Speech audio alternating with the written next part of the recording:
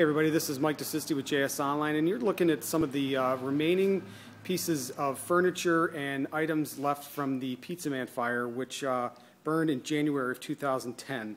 Um, we are at Sid Grinker Restoration.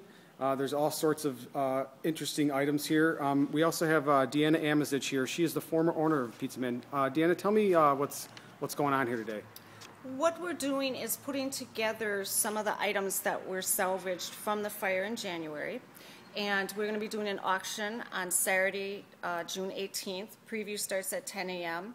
and the auction's bidding starts at 11 a.m. Okay. All the proceeds are going to the Vince Lombardi Charitable Funds. So come off or bid often and bid high. Okay. And we have uh, quite a few things that we were able to save. Yeah, well, maybe show me around. Show me Sure, some of the things we have sure. here. Uh, if you want to start here, these were the actual pulleys that were used to open and close our uh, two doors, uh, entryway. Okay. How about the benches? The benches are made from barn wood that's in excess of 200 years old. My husband went to about 25, 30 years ago to a barn and saw it and thought it would look great in his restaurant and designed it and put it all together. And of course, the uh, Pizza Man sign. Yep, that's the only remaining sign that we have from the fire. Okay.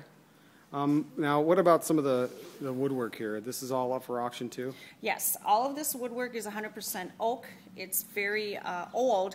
The history of the arch and the two other pieces that we had hanging above people's heads where the wine glasses were hanging actually come from the Plankinton Mansion, which I'm not sure if anybody remembers, but it was a mansion many, many years ago that uh, was uh, either demolished or renovated, I'm not sure. I see we have a tapper here too. This Yes.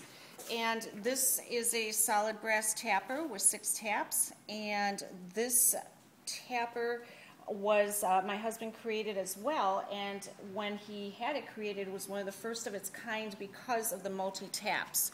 Uh, back when he, when they were having taps, there was uh, maybe two or three, but he foresaw the future and went ahead and added uh, another three on to make a total of six. Okay, so now you're going to have this stuff that we just talked about and much more uh, available. Again, when is it again? It is on June 18th, this Saturday. The preview starts at 10 a.m. and the bidding starts at 11, and they will be accepting MasterCard and Visa as well as cash. I'm not sure if checks are. And the location is at Sid Grinker Restoration, and that's at 416 uh, West Walnut Street. Great. All right. Thank you very much. Thank you.